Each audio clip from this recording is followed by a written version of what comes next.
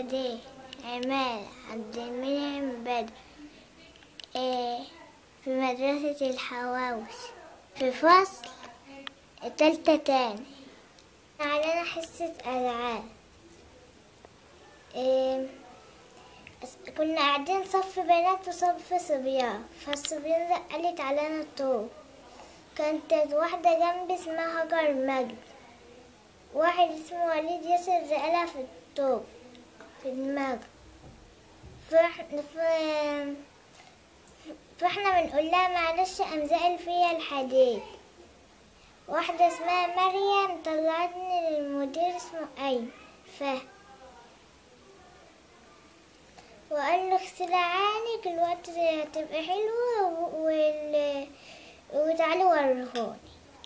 قال له اقعدي بعد ما قعدت قال لي معلش.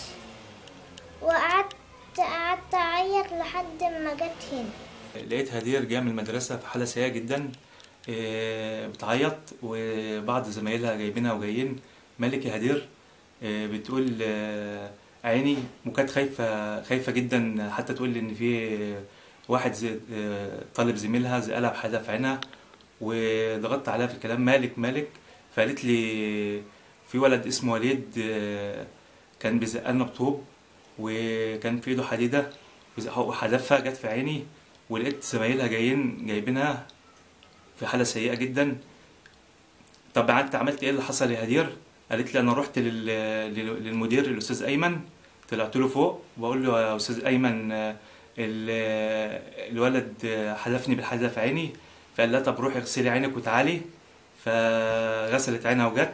قال لها طب أنت هتبقي كويسة دلوقتي اقعدي وسابها لغايه نهاية اليوم الدراسي. ولقيتها جاية في حالة سيئه ففي اليوم ده كان في مطر شديد خدتها وطبعا طلعت على المستشفى على طول مستشفى مركز طب وجراحة العيون. وكان اليوم حتى كان في اليوم ده ما كانش في استقبال ودخلت بكارنيه الشغل. آه، دخلت بكارنيه الشغل. وقالوا لي لازم عملية حالا عملية فورا لأن في الوقت في فتحة في القرنية والسائل ال- سائل العين خرج من العين ولازم لازم حالا تعمل لها عملية. ودخلت العمليات واتعمل لها عملية